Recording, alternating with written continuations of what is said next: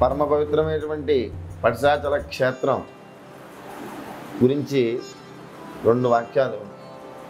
శ్రీశైలం కాశీ కేదారం కాళహస్త్యంచ పట్టసం పంచక్షేత్రే పటే నిత్యం సర్వపాప వినశ్యతి. పంచక్షేత్రాల్లో ఒకటైనటువంటి క్షేత్రం ఈ పటిశాచల క్షేత్రం. పూర్వకాలంలో శివపురాణంలో దక్షయజ్ఞం జరిగింది. ఆ దక్షయజ్ఞంలో పరమేశ్వరుడు తన జటాచూటంలోంచి వీరభద్రుని ఉద్భవింపజేసి పట్టసము అనేటువంటి ఒక ఆయుధాన్ని చేతికిచ్చి దక్ష సంహారం చేసి రమ్మని చెప్పి పంపించారు. అప్పుడు వీరభద్రుడు ఉగ్రావేశంగా ఆ ఆయుధాన్ని చేతపుచ్చుకుని దక్షయజ్ఞం అంతా కూడా నాశనం చేసి దక్షుణ్ణి సంహరించాడు. దక్ష సంహారానంతరం ఆ వీరభద్రుడు ఆయుధంతో సహా ఈ పర్వతం మీదకి వచ్చి ప్రళయ ఉగ్రతాండవం చేశాడు. ఆ ప్రళయ ఉగ్రతాండవంలో దేవతలు హడిరెత్తిపోయారు. భూమి కంపించిపోయింది. ప్రకృతి అల్లకల్లోలమైంది. ఇటువంటి పరిస్థితుల్లో బ్రహ్మాది దేవతలందరూ కూడా శ్రీ మహావిష్ణువు శరణు వేడారు. శ్రీ మహావిష్ణువు తన సుదర్శనాన్ని విడిచిపెట్టి వీరభద్ర శాంతించన్నారు. కానీ మహావిష్ణువుకి సుదర్శనాన్నే వీరభద్రుడు తన గర్భంలోకి మింగేశాడు.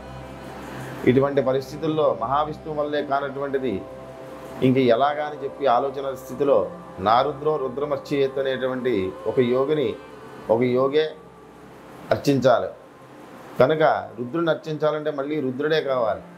కనుక వెంటనే ఆనాటి కాలం నాటి వాడు అగస్త్య మహాముని శరణు వేడారు.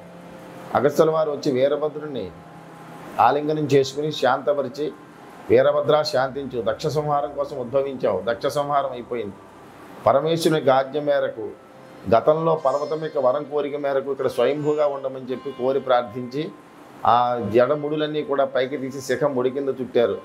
అందుకనే నేటికి కూడా ఆ లింగాకారం మీద శిఖం ముడి ఆయన్ని ఆలింగనం చేసుకున్నట్టుగా బాహువుల యొక్క ముద్ర లింగం మధ్య భాగంలో మనకి నేటికి కూడా ఈ చిహ్నాలు కనిపిస్తూ ఉంటాయి కనుక ఈ పర్వతం మీద వీరభద్రుడు స్వయంభూగా లింగాకారంగా ఉద్భవించారు. కనుక పరమ పవిత్రమైనటువంటి క్షేత్రం ఈ పటిసాచల క్షేత్రం.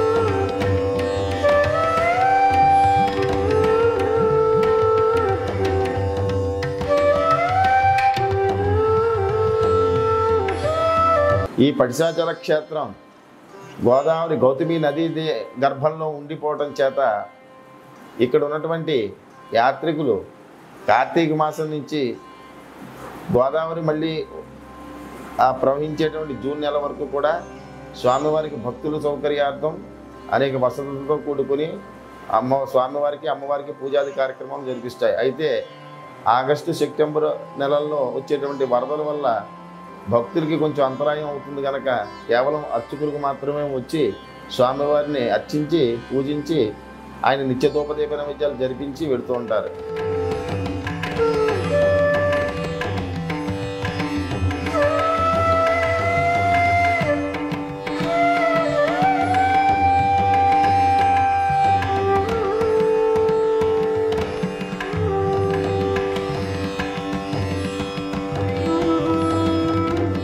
భవన్నారాయణ స్వామి పదకొండవ శతాబ్దం మీద నీలాదల పర్వతం మీద స్వయంభూగా వెలిసినాడు.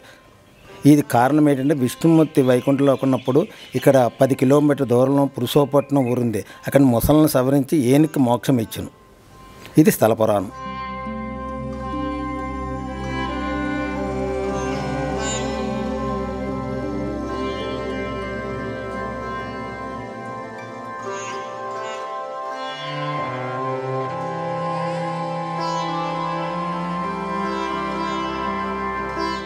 క్షేత్రపాలకుడు భవన్నారాయణ స్వామి స్థల పురాణం.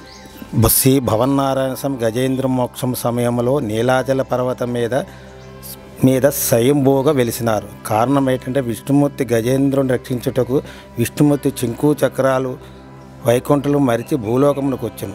గరుత్మంతుడు ఆ శంకు చక్రాలను తెచ్చి విష్ణుమూర్తి ఎదురుగా ఇవ్వడం వలన అవి తారుమారైనవి. తరుపరి ముసలను సవరించి ఏనుక్కు మోక్షం ఇచ్చును అదే సమయమున జామవంతుడు ఈ పర్వతం మీద తపస్సు చేయుచుండగా విష్ణుమూర్తి జామవంతునికి దర్శనమిచ్చును. ఈ విధముగా విష్ణుమూర్తి పర్వతం మీద స్వయంభూగా వెలిసిన.